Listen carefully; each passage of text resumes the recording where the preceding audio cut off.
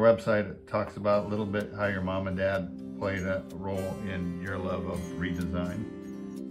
Well, uh, both parents influenced me in, in my way of thinking, but I would have to say my mom a little bit takes the top bill because you could only stand to have her living room look one way for maybe three or four months. I would say a good four times or so a year, my mother would rearrange the furniture and maybe pull a chair in that she had in the guest room and then she swap it out with the you know a chair she had in the living room. And she just did all of these. She was doing redesign before redesign was a thing. Um, that had a huge influence on me. And so as a kid i would redo my bedroom all the time. And she never complained about it because she did it to her whole house. So um, I have a lot of really good connection with my mom when it comes to um, cycling through items in my house and changing them around and moving the furniture and all things that make a space feel fresh. But, you know, maybe I spent $20 on a new plant or something total, you know. And then my dad was a woodworker as a hobby, and I grew up kind of on his hip attached to his hip in his workshop. You know, he, Michele, come here. You know, my dad was kind of gruff. Some people would say scary.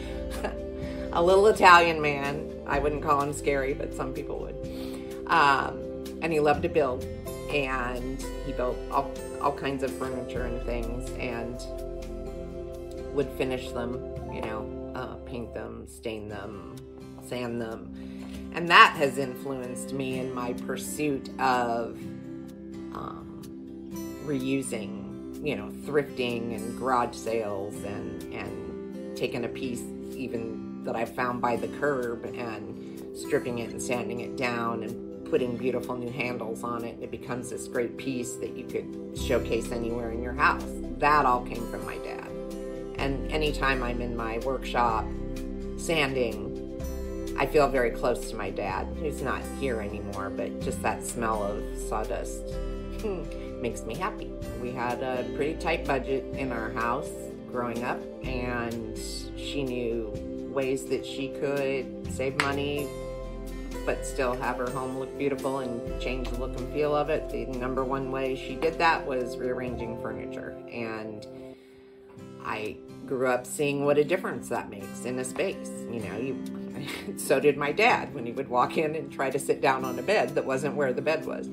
Um, and so that had a huge influence on me. I've used it, that trick throughout my whole adult life, whether I've had discretionary funds or not. And that definitely is one of the big key components of redesign is using shopping your own house i like to say using stuff you already have while I don't share the woodworking gene, I definitely share the the taking an item and sanding it down to its, its foundation and then you know fixing it up, giving it some love and letting people have it in their home as a new piece. And I believe that love of woodworking in my way is what gives me a really strong connection to what I remember growing up with my dad.